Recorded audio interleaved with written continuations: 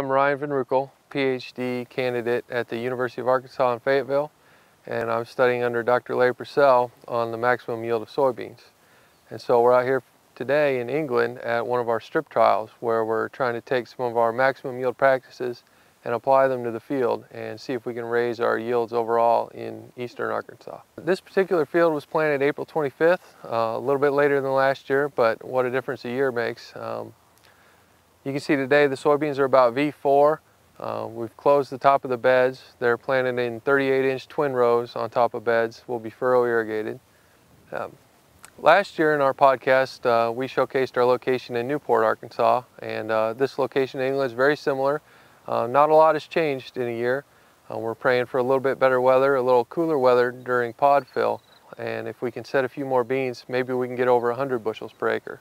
So the Arkansas Soybean Promotion Board sponsors an annual yield contest and several years ago they started actually a race for 100 uh, contest. This was a, a one-time prize for the first farmer to grow 100 bushel soybeans over five acres. And that went unclaimed for several years. Um, as of 2013 it's still not been achieved.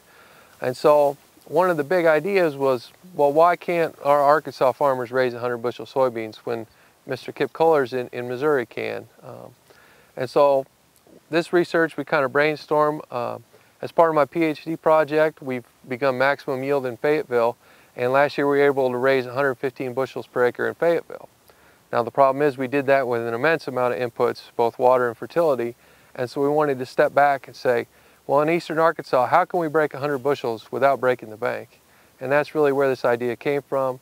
We're focused on simple things like early planting, row spacing, good fertility, taking good care of these soybeans and, and trying to really elevate our yields in practical ways that we can share with everybody. This research is being conducted at three locations, here in England uh, and also Newport and Helena. And the specifics are all slightly different. Um, here in England particularly, we, uh, it was corn last year, and then we have two tons of chicken litter incorporated, and then we're on beds, we'll be furrow irrigated, and it's uh, twin rows, 38 inch centers, 8 inches apart on top of these beds. Make sure to check back in with us throughout the season and follow our progress. Thanks.